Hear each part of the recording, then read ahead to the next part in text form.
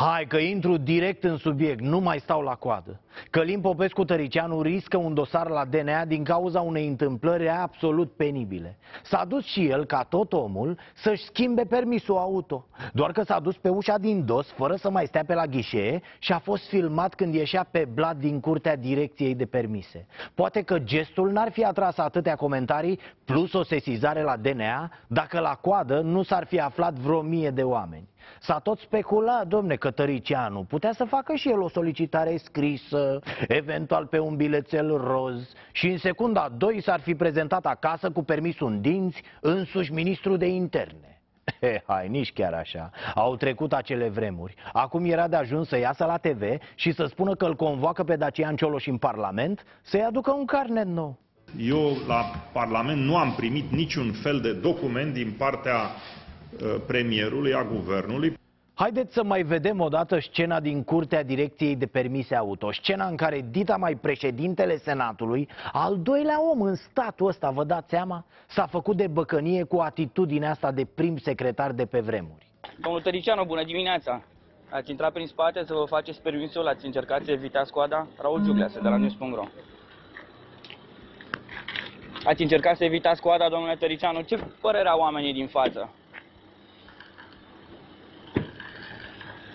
Da, cam asta e. Uite ce se întâmplă dacă nu reformăm odată și odată sistemul. Puteam să punem la punct, de exemplu, un serviciu de livrări permise auto la domiciliu.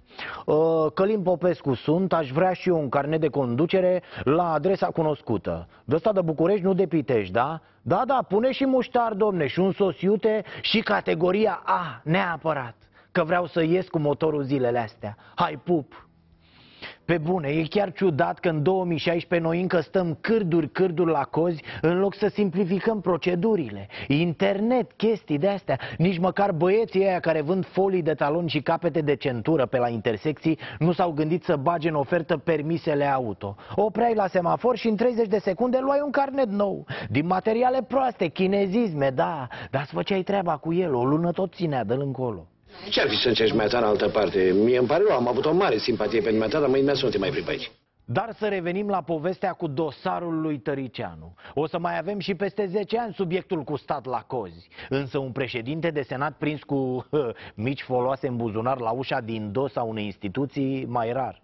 Așadar, prima reacție concretă e că domnul Tării s-a ales cu un denunț la DNA, depus de o avocată din București, care nu se afla la coadă, dar uh, s-a inspirat din ce a văzut pe net. De altfel, oamenii de la coadă, cel puțin ăia care apar în filmare, nu păreau prea deranjați de gestul lui Tăricianu. Bizară atitudine, o parte dintre ei fiind români care trăiesc pe afară, prin țări în care cozile au fost de mult eradicate, odată cu aceste năravuri de 2 lei. Dar să nu deviem.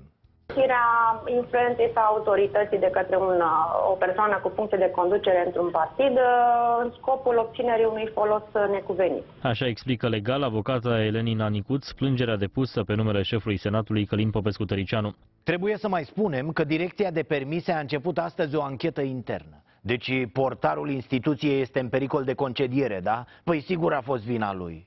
La rândul său, prefectul capitalei a amenințat cu o investigație. Doar domnul Tăricianu refuză orice comentariu pe subiect. Dar zi, domne, ceva. Poate n-ai făcut nimic. Poate doar ai fost să bei o cafea acolo sau poate ți-ai lăsat sacoșa de cu seară la coadă, că se pune.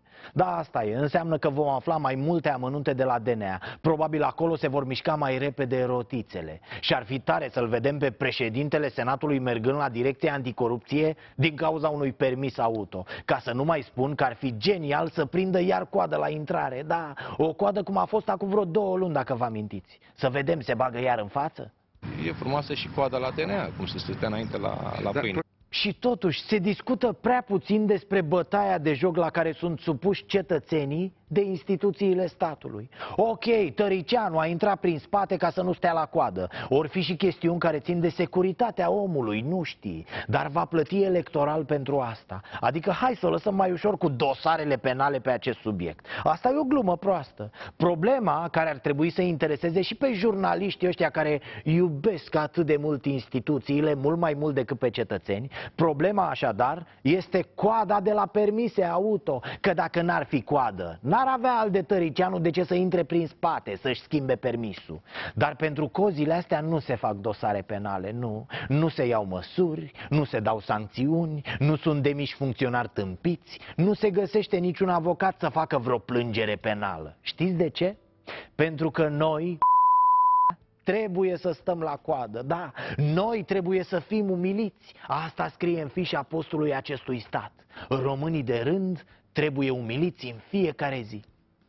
Din reacțiile oamenilor după faza asta cu Tăricianu, înțeleg că ni se pare în regulă să stăm cu săptămânile la cozi, atâta vreme cât o facem cu toții.